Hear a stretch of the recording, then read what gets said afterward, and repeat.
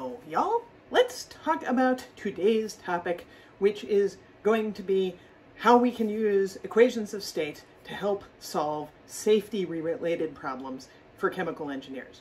And uh, this turns out to be really important because as chemical engineers, we deal with hazardous chemicals and also we deal with hazardous situations. And one of those key hazardous situations is risk of fire. So we've got to uh, think about how we might deal with this.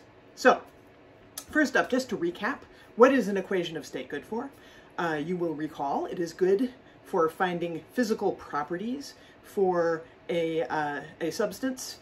Um, and in this case, we're only still talking about pure substances. We're going to be talking about mixtures soon, but right now it is all about the pure substances. So an equation of state does a good job of telling you the physical properties, such as the density of a pure substance.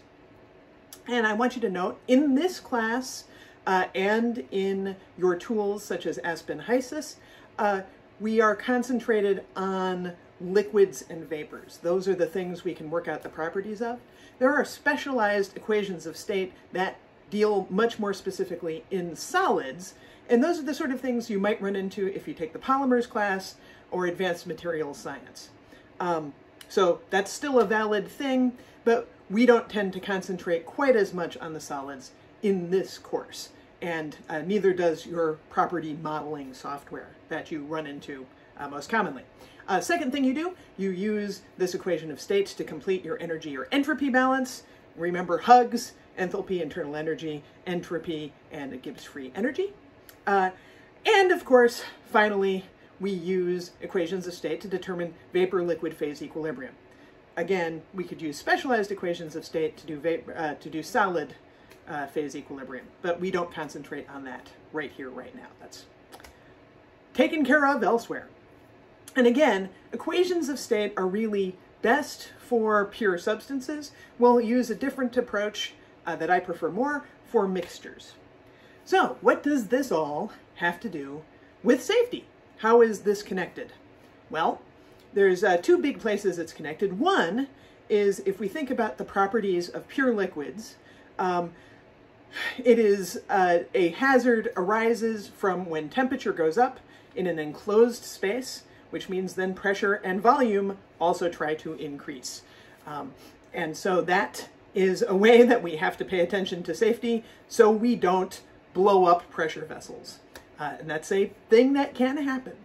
Uh, so equations of state are very important in that setting, and we've kind of thought about it a little in that way already. The new one I'm going to introduce today is how phase equilibrium turns out to be extremely important uh, for uh, fire safety in terms of what's known as the lower flammability limit, or LFL. So what does uh, vapor-liquid equilibrium have to do with fire safety? And uh, to answer that question, we've got to think about this thing that maybe you haven't thought about a lot before, which is what is it that actually burns when something is on fire?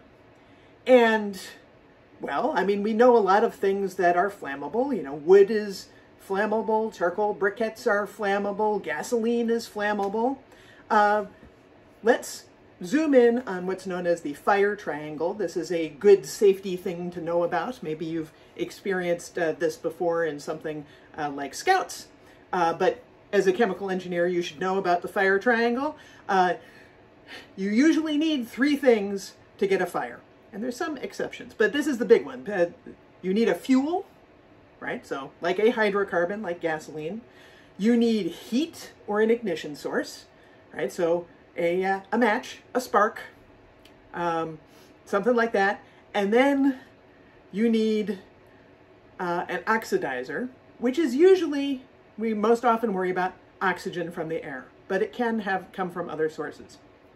And when you have all three of those things, you have a fire hazard. In fact, you probably have a fire, um, but you at least have the hazard of the fire. And uh, what we're going to focus on right now is how that fuel and that oxidizer, that oxygen, come together. You need enough oxygen to be mixed with enough fuel that a flame can be sustained. And it turns out, in general, that doesn't work for solids, and it doesn't even mostly work for liquids. So to give you an example of this, I did a highly sophisticated experiment with a candle. So we're going to watch this candle um, partially in slow motion, but initially at re uh, regular speed right now. So you'll notice that a candle has a wick. And I don't know if you've ever thought about why a candle should have a wick, but if you have tried to light a candle in the wax part, you will uh, notice that it doesn't just catch. You need to light it by the wick. You can't just light up wax. You can melt wax, but you can't just light up wax. So what is that wick doing? Well, in part, you can see that it is drawing the liquid wax uh, up uh, to spread it out a bit. But actually, what is also going on is something with the vapor.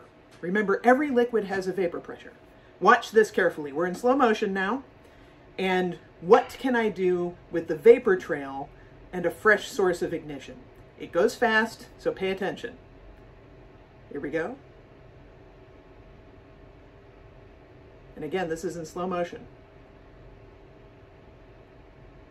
So you can see, boom, that flame didn't touch that wick again. It lit through the vapor trail. And that's because what's mostly burning is vapor, because that is what is able to be well enough mixed with oxygen to sustain a flame. And you're like, well, wax isn't that volatile. Well, that's why it's got to uh, be quite warm in the first place. But usually, when you are worried, in many, many cases, about something being flammable, at least to start, the flame is at the vapor-liquid interface, and it is the vapor that is in equilibrium with the liquid. So remember, all liquids have a vapor pressure above them. It is that fraction of the liquid that has vaporized, even though we're below its boiling point, uh, that is the thing that is burning. Okay? So let's talk about that. This finally brings us to today's safety problem. So for a set of common, well-known flammable liquids, I want you to first look up the lower flammability limit. This will be phrased as a uh, percent, and it's equivalent to the mole fraction in air, so the vapor mole fraction, that of this substance that you need for a flame to be sustained. Okay? And you're going to pick one of these. Uh, I want the whole class to mix it up and pick different things. Uh, so for this, I want you to go look up what the lower flammability limit is. There's also an upper flammability limit. We don't need to worry about that quite as much right now. Uh, but so what is that vapor phase mole fraction at which this stuff can sustain a flame. It can effectively be a fuel. And, uh, and if you need an assumption, let's assume we're at atmospheric pressure, one atmosphere, uh, 1.01325 bar. Um, and this is something that you should be able to find in the material safety sheet for that substance. So this is, this is where you can look that up. Um, it'll also be listed in lots of uh, common spaces such as chemical suppliers, heck, even Wikipedia. So then, second, after you know the LFL, so we'll get those all listed down, um, I want you to check what is today's outdoor temperature. And then I want you to imagine that we've had a spill. Uh, so somebody spilled a large container of this stuff outside.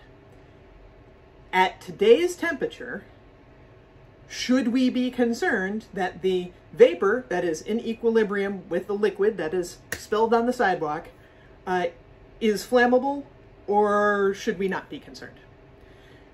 And to do this calculation, um, I'd like to assume that the uh, Peng-Robinson equation of state is a valid description of the behavior of our fluid. Um, even if it's not a perfect description, it should actually be pretty good for all of these in this particular circumstance. So let's pull that out, put the proper um, constants in place and figure out what vapor pressure we expect to be in equilibrium uh, with a 100% liquid of one of these compositions uh, at today's temperature. And that's the problem. Thanks a lot.